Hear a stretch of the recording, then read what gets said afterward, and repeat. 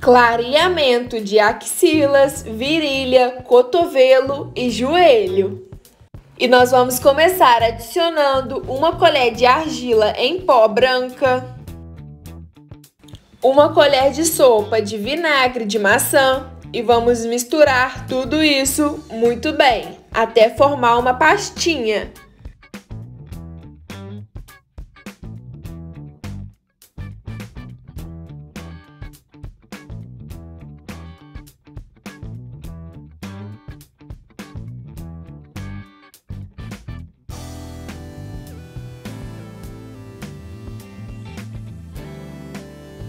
E assim que virar uma pastinha, nós vamos adicionar duas tampinhas de leite de magnésia.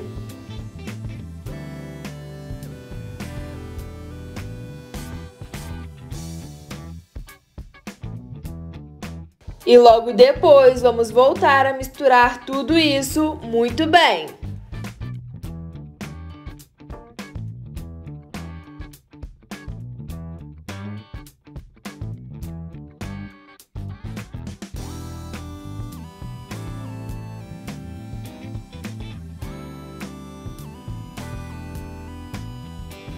E essa é a consistência ideal para nossa mistura. Com a ajuda de um algodão, pincel ou gases, nós vamos pegar nossa misturinha e aplicar no local onde desejamos clarear.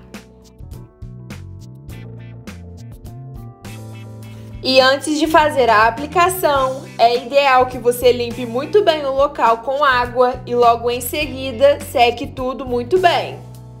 Depois de aplicar a nossa misturinha, nós vamos deixar agindo de 10 a 15 minutos. E o ideal é fazer duas ou três vezes na semana.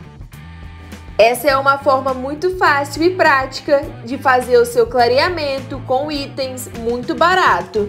E essa foi mais uma dica aqui do Pobre na Cozinha. Eu espero que tenham gostado. Um forte abraço e até a próxima!